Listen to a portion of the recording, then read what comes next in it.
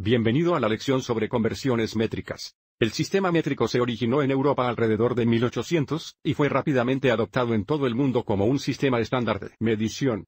De hecho, Estados Unidos es el único país industrializado que no utiliza el sistema métrico como su sistema de medición oficial, a pesar de que hay unidades métricas utilizadas en los Estados Unidos para varias cosas. La fortaleza del sistema métrico es que se basa en potencias de 10, como puede ver en la tabla a continuación. Mirando esta fila tenemos mil veces la base, cien veces la base, diez veces la base y así sucesivamente. Los prefijos son los mismos para cada potencia de 10 por encima o por debajo de la unidad base. Entonces, el sistema métrico tiene tres unidades base, metro para longitud, litro para capacidad y gramo para el peso y el prefijo indica cómo esa unidad se relaciona con la unidad base. Mirando al extremo izquierdo, si el prefijo es kilo, la unidad sería mil veces la unidad base. Es decir, si tenemos un kilómetro, un kilómetro, un kilogramo o un kilolitro, la unidad es mil veces la unidad base. Mirando hacia el extremo derecho, si tenemos un prefijo de milla o mili, entonces la unidad es una milésima vez la base. Entonces, si tenemos milímetro, mililitro o miligramo, la unidad es una milésima vez la unidad base. Esta tabla se puede usar para conversiones, sin embargo, en esta lección, nos centraremos en realizar conversiones utilizando fracciones unitarias, pero aún usaremos una tabla para verificar las conversiones. Para formar nuestras conversiones usando fracciones unitarias, usaremos estas conversiones comunes para longitud, peso y volumen. En el primer ejemplo, necesitamos determinar cuántos miligramos en 4200 gramos. Primero escribimos 4200 gramos como una fracción con un denominador de 1. Entonces tenemos 4200 gramos más de una vez, ahora formaremos una fracción unitaria que convertirá gramos a miligramos. Entonces, mirando las conversiones, un gramo equivale a mil miligramos. Y como queremos que los gramos se simplifiquen con este producto, los gramos deben estar en el denominador y por lo tanto, miligramos estará en el numerador. Y por lo tanto, la fracción unitaria será de mil miligramos dividida por un gramo. Observe cómo esta fracción es igual a 1, por lo que no estamos cambiando el valor, solo estamos cambiando las unidades. Observe que las unidades de gramos se simplifican a 1. Y nos quedan 4.200 veces mil miligramos, lo que nos da 4.200.000 miligramos en 4.200 gramos.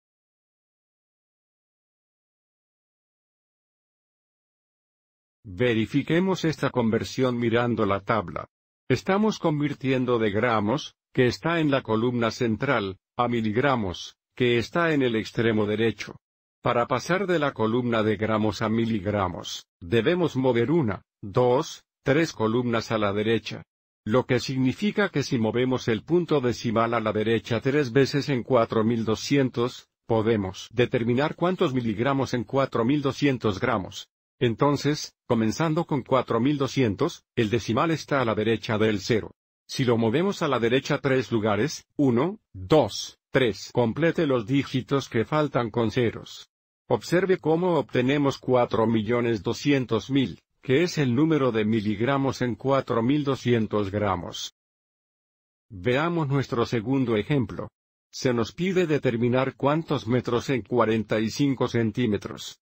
Comenzando con 45 centímetros como una fracción con el denominador de 1 multiplicamos por una fracción unitaria que convertirá centímetros a metros. Mirando nuestras conversiones, un metro equivale a 100 centímetros. Como queremos que los centímetros se simplifiquen con este producto, los centímetros deben estar en el denominador y, por lo tanto, los metros estarán en el numerador. Y otra vez, porque un metro equivale a 100 centímetros, nuestra fracción unitaria es un metro dividido por 100 centímetros.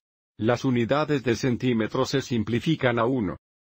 Multiplicando, tenemos 45 sobre 100, o 45 centésimos metros. Podríamos simplificar esta fracción a 9 vigésimas, pero en su lugar, escribamos esto como un decimal. 45 centésimas es igual a 0.45, y las unidades son metros. Entonces, ahora sabemos que 45 centímetros equivalen a 0,4 y 5 metros. Nuevamente verifiquemos esto usando la tabla. Primero localizamos centímetros en la tabla, que está aquí. Y luego ubicar metros, que está en el medio. Para pasar de la columna de centímetros a la columna de metros, tenemos que mover una, dos columnas a la izquierda. Y por lo tanto, para determinar cuántos metros en 45 centímetros, mueva el punto decimal en 45 a la izquierda dos lugares. Entonces, ahora el punto decimal está a la derecha de los 5, moviéndolo a la izquierda dos lugares, 1, 2.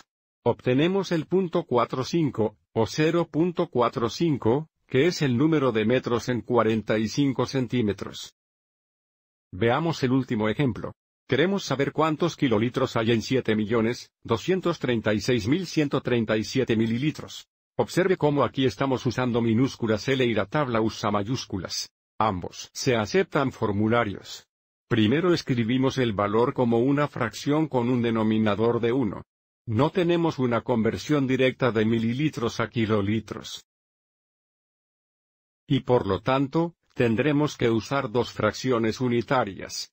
Mirando las conversiones, primero usaremos la conversión, un litro equivale a mil mililitros.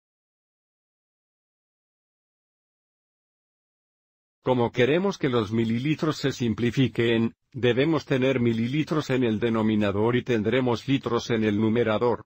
La conversión es un litro es igual a mil mililitros y, por lo tanto, la fracción es 1 dividido por mil mililitros. Observe que las unidades de mililitros se simplifican a 1. Y ahora, convertiremos litros a kilolitros. Un kilolitro equivale a mil litros. Queremos que los litros se simplifiquen y, por lo tanto, los litros deben estar en el denominador, y los kilolitros deben estar en el numerador. Nuestra fracción unitaria será de un kilolitro dividido por mil litros. Cuando multipliquemos, notaremos cómo tendremos 7.230, y 6.137 divididos por un millón. Y este cociente es igual a 7.236137 kilolitros.